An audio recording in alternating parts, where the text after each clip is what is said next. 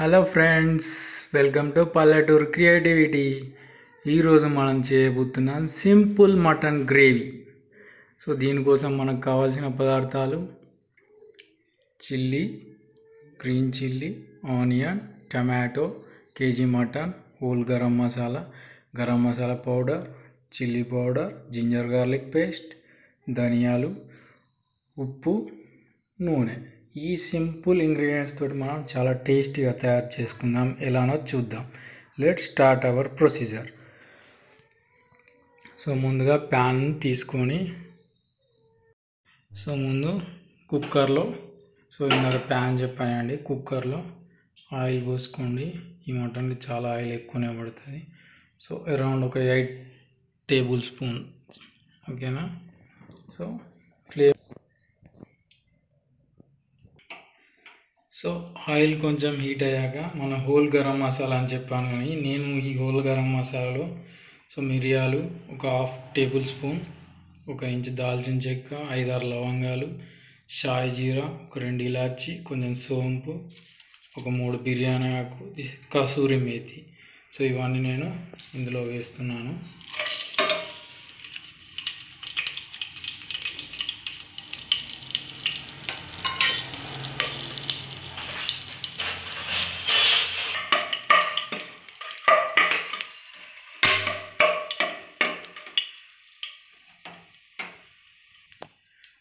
So ఇలా వేగితే చాలండి. మరీ ఎక్కువ వేగాల్సిన అవసరం లేదు ఆయిల్లో ఎందుకంటే త్వరగా మాడిపోతాయి.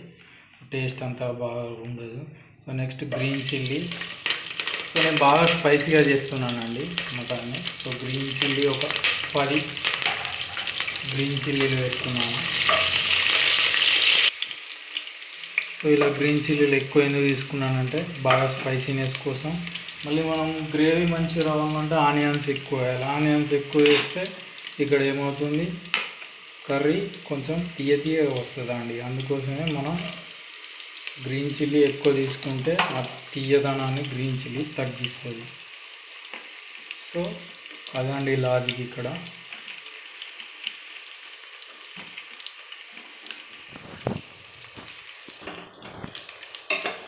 సో ఇప్పుడు మంటను హై ఫ్లేమ్లోకి మార్చుకొని సో ఈ ఆనియన్స్ బ్రౌన్ అయ్యేదాకా ఆయిల్లో ఫ్రై చేసుకోండి.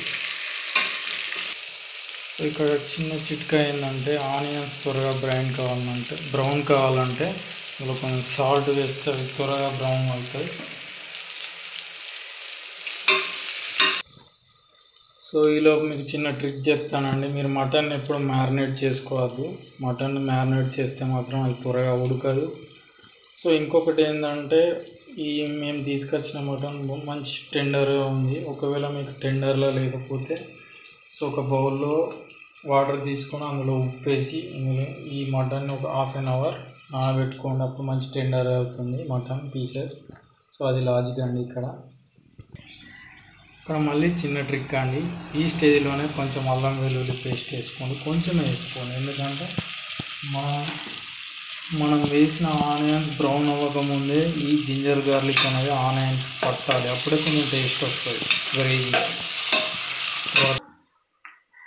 చూడండి మన ఆనియన్స్ బ్రౌన్లోకి మారాయి. ఇప్పుడు ఒక table spoon two table spoon ginger garlic paste వేయండి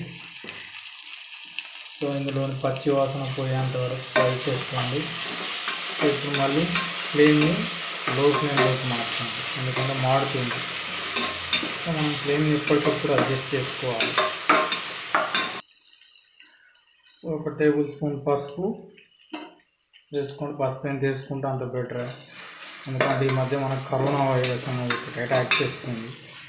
ఎంత పసుపు తింటే అంత పసుపు ఏం టేస్ట్ని ఎఫెక్ట్ చేయదు. కొద్దిగా టమాటో వేసుకోండి ఒక పండిన టమాటో. ఈ టమాటో వల్ల కొంచెం నీసు వాసన రాదు మటన్కి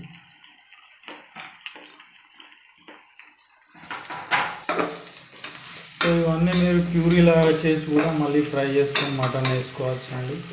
సో మిక్సీలో ఇవన్నీ మిక్స్ పట్టుకొని ఇప్పుడు మటన్ వేయండి.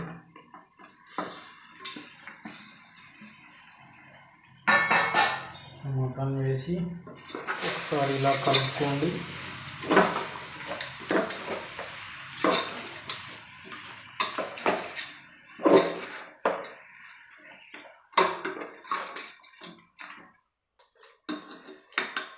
సో ఇలా కలుపుకున్నాక ఫ్లేమ్ని హైలో పెట్టేసి సో ఈ మటన్ పీసెస్ కొంచెం ఆయిల్లో ఫ్రై అయ్యే వరకు సో కుక్కర్ మీద పెట్టకండి. సో అంతవరకు మామూలుగా ఇలా ప్లేట్ తోటి కవర్ చేయండి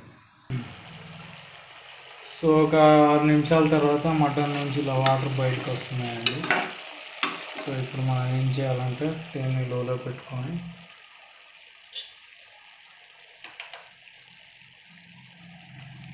ఒక half table spoon garam masala powder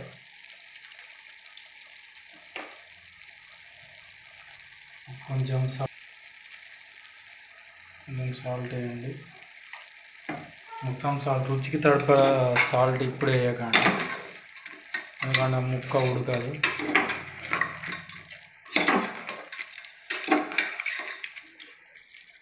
so ఇప్పుడు ఇందులో ఒక వన్ లీటర్ వాటర్ పోసుకోండి.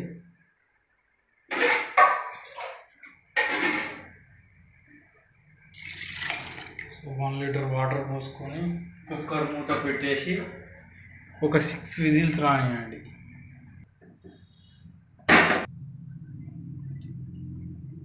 ఆఫ్టర్ సిక్స్ విజిల్స్ ఇప్పుడు మనం చెక్ చేస్తున్నాం. ఒక కూల్ వాటర్ తీసుకొని అందులో ఒక త్రీ పీసెస్ని వేసి చూడండి. అవి కొంచెం ఉడకాయండి. కొంచెం ఉడకాలండి. సో మా మటన్ పీసెస్ ఒక ఎయిటీ పర్సెంట్ ఆల్మోస్ట్ ఉడికింది. సో అప్పుడు మనం ఒక త్రీ టేబుల్ స్పూన్స్ దాకా కారం వేస్తున్నానండి.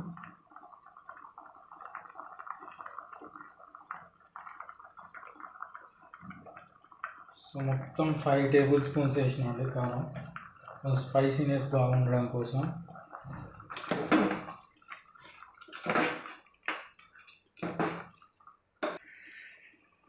సో ఆల్మోస్ట్ కర్రీ ఉడికిపోయిందండి సో ఇందులో ఒక టేబుల్ స్పూన్ ధనియాల పొడి వేయండి. కొంచెం గ్రేవీ చిక్కగా అయిపోతుంది సో అంతే అండి. ఇక కొత్తిమీర పుదీనా తోటి కొంచెం గార్నిష్ చేసుకోండి. గార్నిష్ చేసుకో చేసుకోండి.